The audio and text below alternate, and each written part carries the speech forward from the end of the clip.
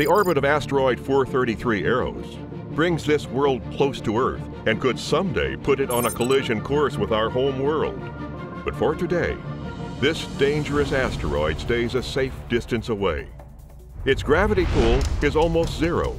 In sunlight, the temperature here can reach the boiling point of water. Because we're in orbit, falling around Eros, we're weightless.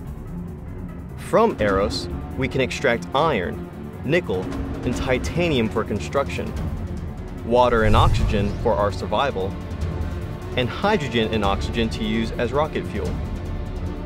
Once we're loaded, we transport the volatiles and minerals we mine to Earth orbit, or to the moon for construction projects and rocket fuel.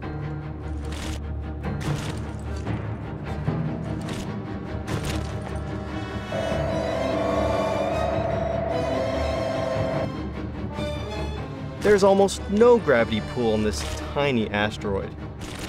Our challenge is crawling, or should I say, clawing, grasping, and clinging to this giant rock. With just a jump or a push, we can launch ourselves off this flying mountain. That's why we wear a tether, like a bungee jumper, so we can't get far without being pulled back to Eros. When the day's mining is done, this is our favorite low gravity thrill to jump off an asteroid and then fall back.